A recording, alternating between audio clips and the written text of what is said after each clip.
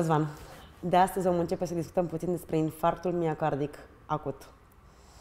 Uh, trebuie să o segmentăm în două emisiuni și astăzi vom discuta în special despre ceea ce se cheamă infarct miocardic acut cu supradenivelare de segment ST. Dacă vreți, una dintre marile urgențe cardiologice, marile urgențe din medicina internă și cardiologie.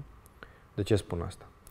Ehm, există, dacă vreți, și pentru o categorisire atât didactică cât și uh, diagnostică și de tratament, o împărțire a unei boli care practic e una singură. Pentru ușurința categorisirii pacienților și a tratărilor cât mai eficiente, societățile științifice care se ocupă cu studiul acestor boli, în principal Societatea de Cardiologie Europeană și cea americană, au convenit să împartă infartul miocardic acut în umbrela, sindrom coronarian acut, în trei mari diviziuni. Avem de-a face cu infartul cu supradinvelare de segment ST, avem de-a face cu angină instabilă și avem de-a face cu infartul miocardic fără supradinvelare de segment ST. Ce sunt aceste entități care vă sunt foarte ciudat? Vă sună foarte ciudat. Și foarte Ce e pompos. infartul, în primul rând? Inima noastră este un mușchi care pompează sânge în continuu de când suntem în burta mamei din viața intrauterină până în momentul în care încetăm să mai respirăm. Ea nu se oprește niciodată. Variază rata în care bate, adică între 60, 80, 90 de bătăi pe minut sau la efort 120, 140 sau dacă avem tulburări peste 140 și așa mai departe, sau când dormim sub 60 de bătăi pe minut. Variază. Dar ea nu se oprește niciodată. Pentru ca acest mușchi să funcționeze, are nevoie de resurse biologice, în principal de oxigen și de anumite substanțe pe care să le ardă, dacă preferați termenul ăsta, să le oxideze în prezența oxigenului și să obțină energie ca să bată, să mm. funcționeze. Bun.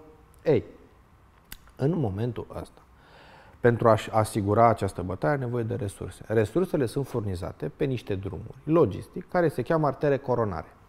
Din artera care împarte, dacă vreți, sângele în tot corpul, prin artera ortă, exact la originea ei există o coronară dreaptă și o coronară stângă, vasele care dau viață, dau sânge, dau mâncare cordului, suplinesc acestuia resursele necesare. Trebuie făcută precizarea că, în general, cordul se oxigenează, primește mâncarea din sânge sau se perfuzează foarte mult în momentul în care el uh, are pauză, adică are diastolă.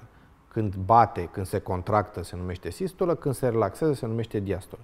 În perioada în care acesta se relaxează, atunci este perfuzat, atunci cordul primește o cantitate mare din resursele necesare.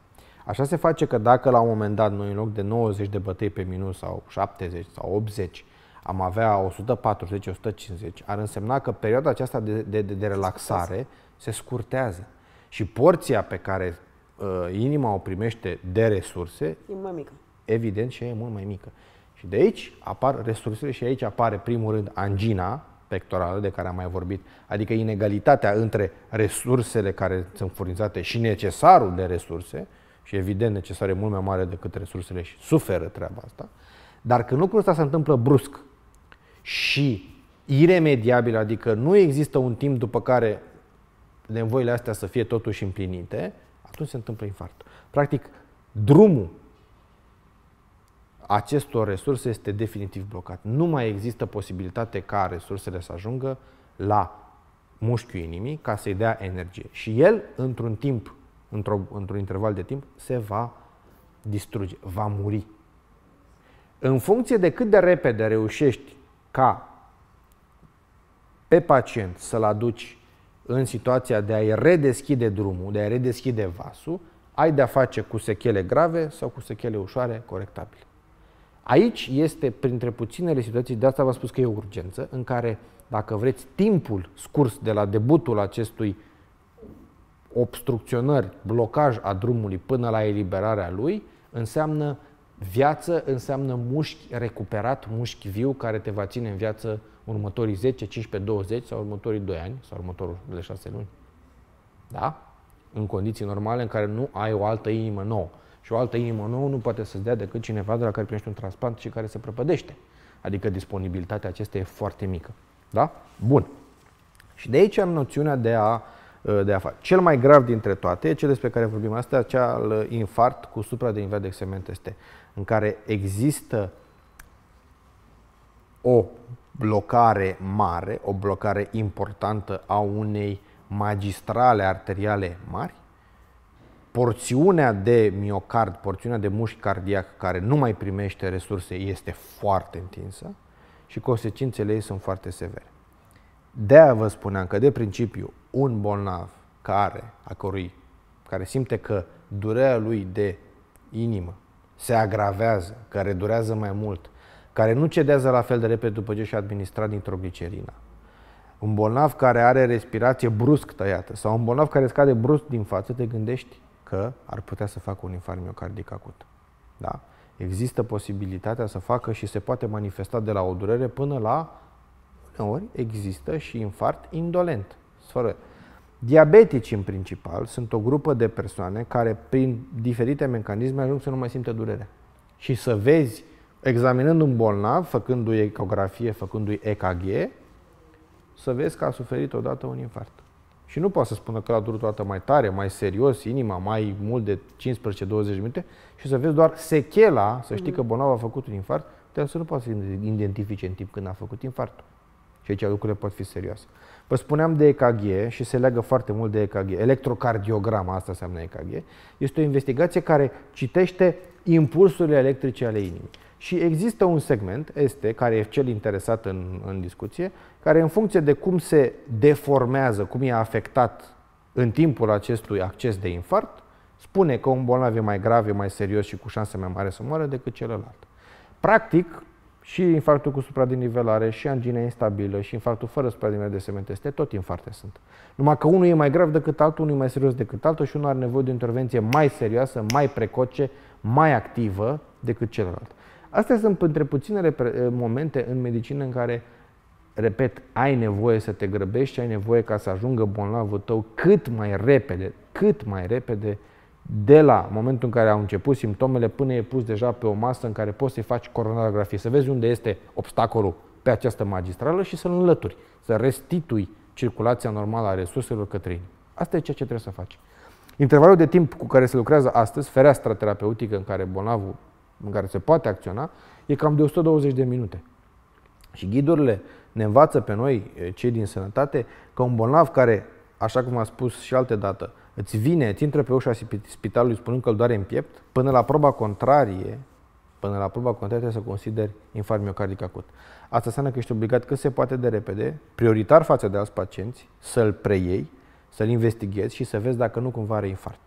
Pentru ca în 120 de minute, bolnavul, din momentul în care a făcut primul contact cu tine, să spune, doctor, mă doare în piept, acest bolnav să ajungă să fie pus până în 120 de minute și să-i fie desfundat arteria, dacă vrei, să fie înlăturat obstacolul, în așa fel încât curgerea sângelui să fie reluată și această curgere a sângelui să reducă resursele și să facă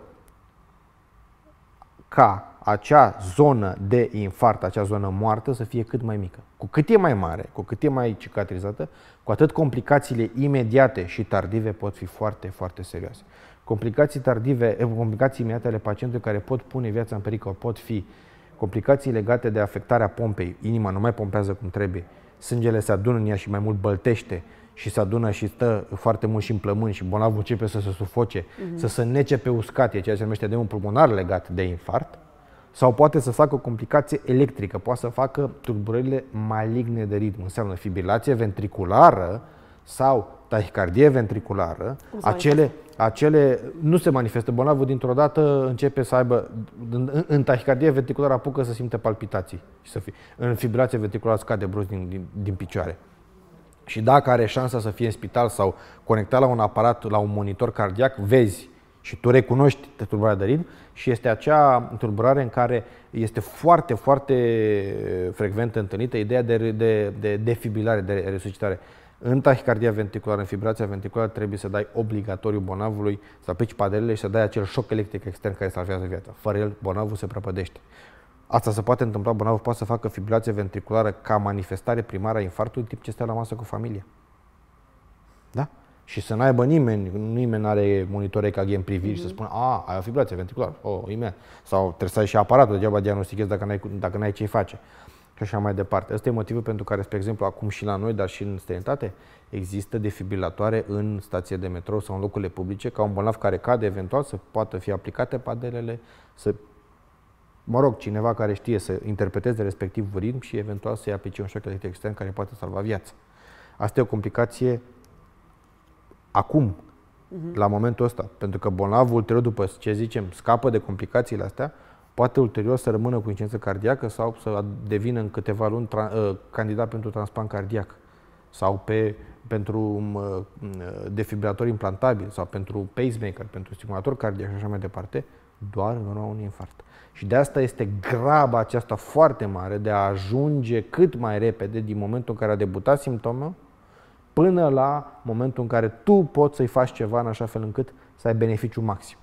După această fereastră de 120 minute de 2 ore, scade foarte, foarte mult șansa ca tu să poți ajuta bolnav. Nu e imposibil, dar evident, complicațiile, sechelele legate de acest lucru sunt foarte, foarte severe.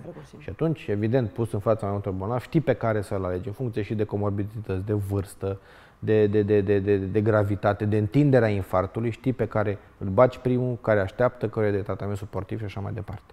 Da? Deci un suferint de infarct miocardic acut poate intra pe picioarele lui în cabinetul tău. De cele mai multe ori așa se întâmplă. De cele mai multe ori așa se întâmplă. Sigur că, de, repet, poate să fie adus de ambulanță, căzut pe stradă și întâmplător s-a pus diagnosticul de anumite chestii și ajungi, trebuie să ajungi cât mai repede la diagnostic. Băi, e infarct sau nu? Te, te gândești și e foarte important iarăși e de responsabilitatea ta să te interesezi foarte mult, să vezi, doamne, bolnavul care a căzut în stradă și a făcut tulburarea de rid, a făcut-o pe ce, în ce context? Are infart, nu are infart? E ceva foarte grav și trebuie să acționezi acut. Nu e infart, nicio problemă, poți să mm, treacă timp până investighezi altceva. Dar dacă e infart, trebuie să acționezi rapid, clar, precis, pentru a preveni, pentru a face ceea ce se cheamă damage control, a limita daunele care sunt deja produse, a limita sechelele care pot apărea și care, repet, pot fi ca și complicații foarte redutabile. Am înțeles. Ce tratament uh, există? Tratamentul, e clar, se face exclusiv în spital.